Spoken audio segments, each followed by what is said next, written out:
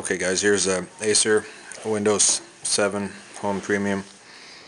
Uh, here we got the NC600 uh, thin client off of Deal Extreme. Running a little Acer touchscreen monitor here and just a leftover keypad. I finally got it working. Uh, okay, we'll show you the this guy here. Uh, we'll just go into Microsoft Works, the simple word processor there. And uh, same thing over here. Mm. There it is.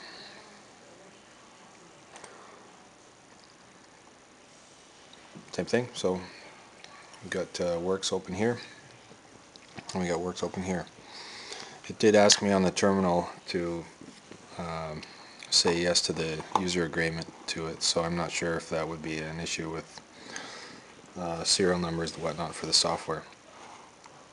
If we click back out of here, you'll see this is the screen for the actual thin client itself, and it's a Windows CE version. So it does work on uh, Windows 7. So if we just go in here, let's see, uh, downloads, just give me a second.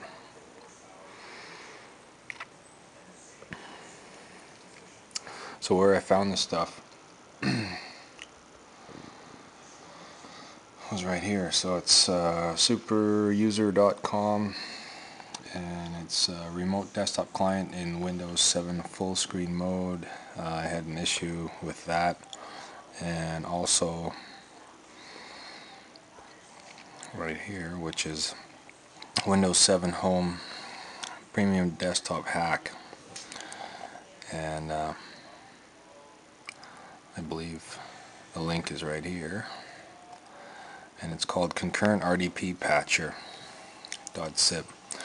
So the address here is mediafire.com uh, slash question mark BYEC5AB1IRIY9DB so you can look that up.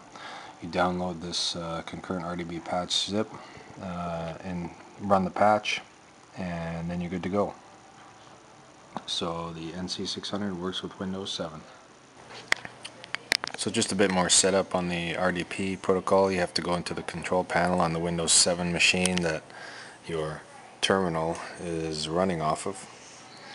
So everything that you see on this screen is taken from this computer so it's basically a, double. So you go into uh, user accounts, add remove users, and you see here I've added uh, an RDP account. And you can add whatever account you want but uh, you have to go in there and obviously name the account. You want to put a password in.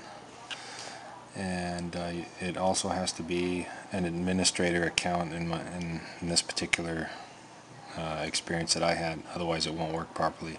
So once you have that in as administrator account then you go in here and uh, you hit remote desktop.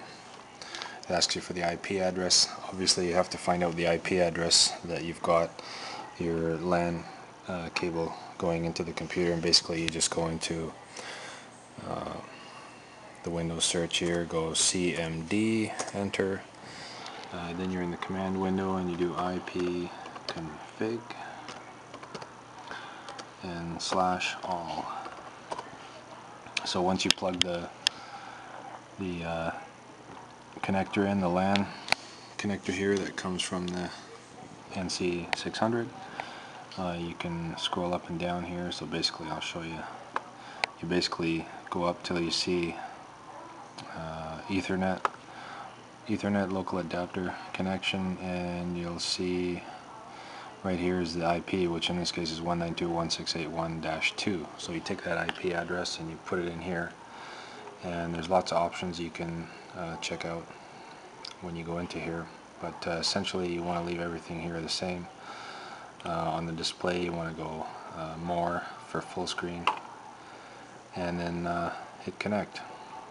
We won't hit that right now because we're already in here. We've already got a session going so there's that session so just to show you let's uh, look up cars and one two three enter that's pretty quick. The only thing you can't do with RDP is video. Uh, you can listen to music, which works uh, relatively well. And if we click something in here, see how fast that comes up.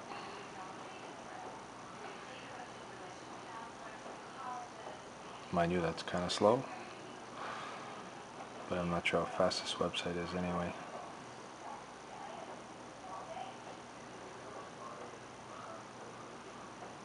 Hmm. That was pretty darn slow. Let's try something else. Canadian aviation regulations. There we go, that's pretty quick. So maybe it's just the website that was slow. Anyhow, uh, works pretty good. So we've got this uh, $60 box, $50 used monitor, $10 keypad, $5 mouse, and we've got ourselves a second computer to use, as long as it's connected to this one.